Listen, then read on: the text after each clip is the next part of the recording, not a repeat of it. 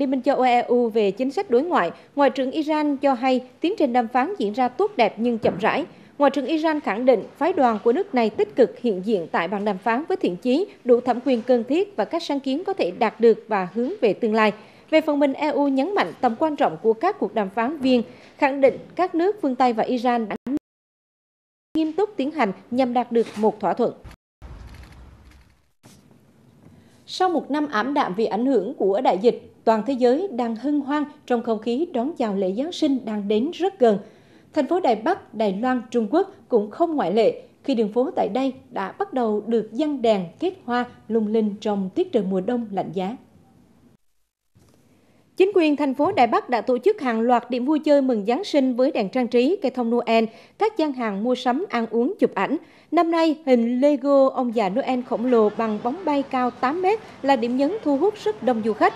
Mặc dù Giáng sinh không phải ngày lễ truyền thống ở Đài Loan, nhưng người dân nơi đây đều đặc biệt đón chờ. Đây cũng được đánh giá là một trong những điểm đón Giáng sinh hấp dẫn nhất thế giới.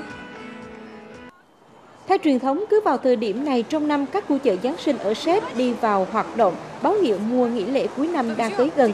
Năm nay, dù dịch bệnh vẫn diễn biến phức tạp, cùng việc chính phủ yêu cầu đóng cửa các khu chợ để đảm bảo phòng chống dịch, song tinh thần đón một mùa lễ Giáng sinh an lành vẫn lan tỏa tại thủ đô Praha của Séc. Khu chợ được phép duy trì hoạt động sau khi tòa thị chính của Praha 1 ra quyết định coi đây như một sự kiện văn hóa. Nhiều người tới đây để sắm sửa những món quà cho người thân và mua thêm những món ăn vặt đặc trưng của mùa lễ hội. Và đến đây chúng tôi xin khép lại chương trình thời sự tối nay của Đài Phát thanh Truyền hình Đà Nẵng. Cảm ơn quý vị và các bạn đã quan tâm theo dõi chương trình. Xin kính chào tạm biệt quý vị và các bạn.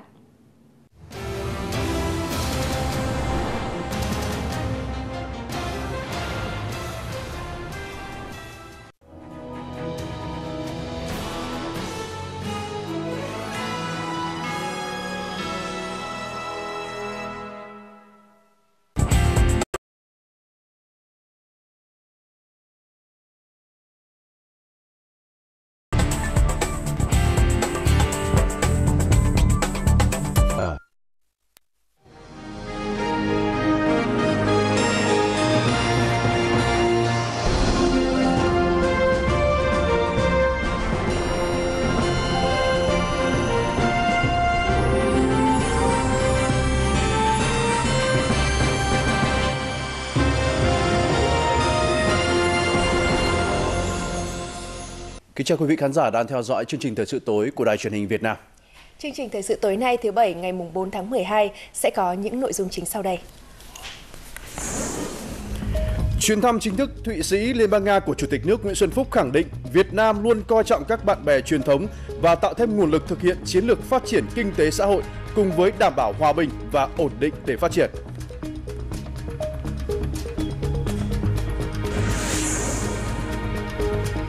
Diễn đàn Kinh tế Việt Nam 2021 sẽ diễn ra vào ngày mai. Quốc hội tiếp tục đồng hành cùng chính phủ, hỗ trợ phục hồi kinh tế.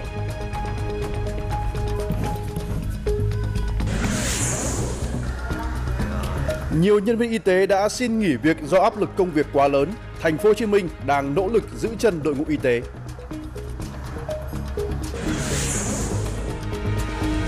Thúc đẩy công nghiệp văn hóa trở thành động lực đóng góp cho tăng trưởng kinh tế và nâng cao thương hiệu quốc gia.